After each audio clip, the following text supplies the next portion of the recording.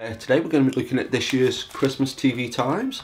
Um, don't know if anyone else has noticed this, but um, over the last, say, five, six, seven years, the Christmas TV Times, the cover's been quite generic. It's just like a picture of Santa Claus. And sometimes, even within this very issue of the TV Times, they'll show you a picture of the TV Times from years past, and there'll be like some quirky, like, family around a table, or it's what was ever the big thing was on TV that year. But, like, say, over the last few years, it's just been it's Santa Claus, but that's spared nothing. I'm kind of glad the TV Times is still going. And one of the main reasons I think I still get the Christmas TV Times, especially, you know, I get it just one or two times throughout the year, but every year I always think, got to get the Christmas TV Times is. One year really sticks out in my mind really vividly. And I had a quick check on the internet, I think it was like 1988, it must have been around that time period. But I remember these two things, and I'm sure they happened together, if they didn't, I don't, it must be mind playing tricks on me. But the first part of the memory is I can remember going into my local town centre and buying Death Wish 3 for the Commodore 64, which in and of itself is a great memory. I mean, like it's amazing what you take for granted as a kid. Like now, if I could just go downtown and buy a brand new Charles Bronson video game, that'd be incredible. But I remember buying that, and I remember it being night, night time, about like 5 o'clock at night, again, quite dark to be in the winter months. Then I remember buying the Christmas TV Times and just flick it through, flicking through it on the way back home and I noticed Empire Strikes Back was on. And I remember like just being like really, oh my god, so excited, like you know, sort of hyperventilating almost, like it was, oh my god. And looking back on it, it was crazy really because it was like, you know, a five-year-old movie, but it felt so new and so exciting that this Star Wars movie was on on Christmas Day, and I guess you know, like a week or so away from a new Star Wars film, so I guess the more things change, the more they uh, stay the same. And thing, that was like, you know, maybe makes me feel like I grew up in like Flintstones times, but used to have the radio times and the TV times. And it was always one of them weird things where it was kind of like, uh, you'd have to have the radio times for BBC 1 and 2 listings and the TV times for like ITV and Channel 4. It's like, you know, you couldn't get the TV listings in like one book. It was like, wow, what kind of, you know, ass backwards time did I grow up in? But one thing I like doing is I like sort of uh, just getting a marker pen ideally a green marker pen because it's my favourite colour.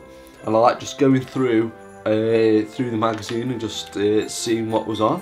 Uh, so I'll get to like the uh, film section which is page 44 and it starts off uh, this uh, Christmas TV Times goes from the 19th of December till the 1st of January. I picked a film for each day so I'll just go through it quickly. Sort of just like one recommendation for each day on Saturday the 19th of December on TCM at 6.25 as They Were Expendable. On Sunday the 29th of December got Airplane on Channel 4 at 12.40am. Uh, on Monday the 21st of December I picked Flight of the Navigator BBC 2 9.35am. It's always one of them films where I feel like I should give it more of a chance really because I feel like I've seen it and I've seen most of it, but I definitely want it as a bit of like a refresher really. Uh, Tuesday the 22nd of December, something a bit more recent, gone for Space Chimps on Channel 4, it's 10.20am. Um, on Wednesday the 23rd of December, and this is a great film, gone for the 1980s classic, Short Circuit. And I still think it's not racist, don't care what anybody says. Uh, gone for on Christmas Eve, 24th of December. Uh, Small Soldiers on ITV. It's uh, ITV1, I assume. It's uh, 1:45 p.m. Always good to look at for the uh, Dick Miller cameo, as as always. Uh, on Christmas Day, gone for Frankenweenie on BBC Two. 1:45 p.m. 1:45 p.m. and it's a premiere. I've just noticed. Uh, that's one thing as well. I did think it was funny about going through the Christmas TV guide was uh, they have these little boxes, uh, like one for sex, one for violence, one for language, and I just noticed Scrooged was uh, there, and it said this updated the Dickens A Christmas Carol as its faults. It's like really, you try to find the faults with Scrooge because you're a better man than I if you can find faults with Scrooged. But for violence, none of the uh, boxes are highlighted. This is a film where you see a man thinking he's being set on fire inside a coffin and the ghost of Christmas present kicks the living crap out of Bill Murray. Not bad for a film with zero squares for violence. Oh, it's also um, on on Channel 4 at I'm pretty sure the exact same time it was on last year because I can remember watching it at my niece's house and I was getting quite drunk and I was getting quite emotional watching it. But for extra recommendation, we've got um, A Very Merry Christmas is on Netflix and it's almost like Scrooge 2. Don't give too much away because it's obviously pretty new, but some beautiful subtle references to Scrooge in there. It's a pretty cool film, so check that out on Netflix, which on anytime, obviously, if you've got Netflix. Uh, uh, oh, the uh, uh, Christmas Day listings are on page 116. So I can go through what's on. I've highlighted a few things for. Don't know why I'm scanning through when I know the page number. Uh, page 116. Uh, on BBC One, I've gone for something pretty obvious, but for some reason, I really like watching it. It's um, 3 o'clock, it's on BBC One and it's on ITV One. I've gone for the Queen's speech. Like, I never would class myself a royalist, but for some reason, I really love watching the Christmas Queen's speech. But it's always got a slight downside, is just as the Queen's speech is ending, and this almost, almost happens every year without fail, but about a minute or a couple of minutes before it ends. So always my idiot family comes back in from the pub and they're like, oh, the Queen, who does she? And then people start saying, oh, you won't get a job and all this kind of stuff. So it's like Christmas is ruined after that. Uh, then on 8.50 on Channel 5, I've gone for Chas and Dave's Xmas Knees Up, as, as you do.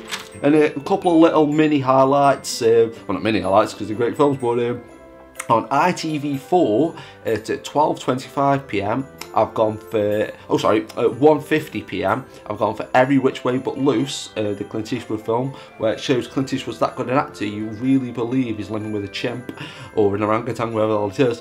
Uh, Police Academy 2, their first assignment, another great film, great Drew, oh, and the time for that is uh, 10 past 4 on the same channel.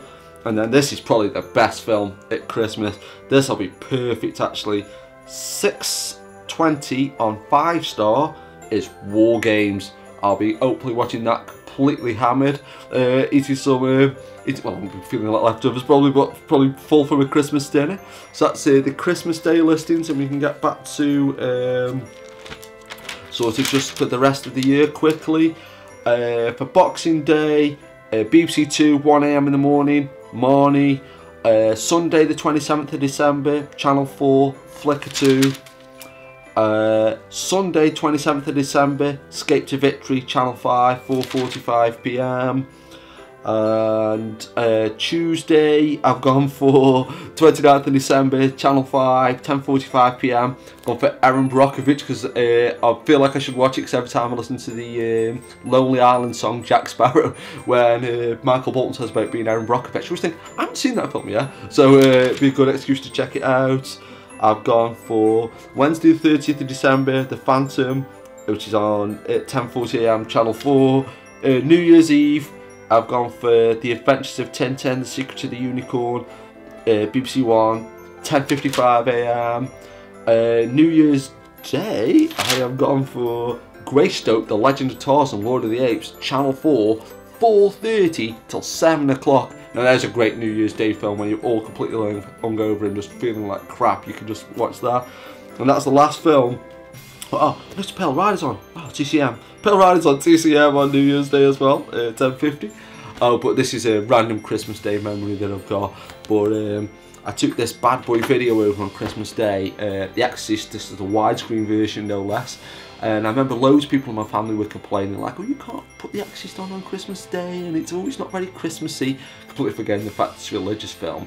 But one thing that like, now I've got like young niece and nephew, I know definitely, uh, you know, Dan and Tilly, shout out for Dan and Tilly, I know I definitely couldn't uh, bring horror films out on Christmas Day now because it'd be like, oh, they're going to have nightmares. But you don't realise when you watch horror film when you're a kid, it's like, you get these cool free nightmares and you're like, the most realistic, intense horror movies that you could ever have. But, ah, well, they're lost, right? But, uh, thank you for watching uh, my Christmas TV Times review and uh, now I can actually find someone in the house that can play CDs. I'm going to play this bad boy, Bette Midler's Cool Yule and uh, Merry Christmas and see you later.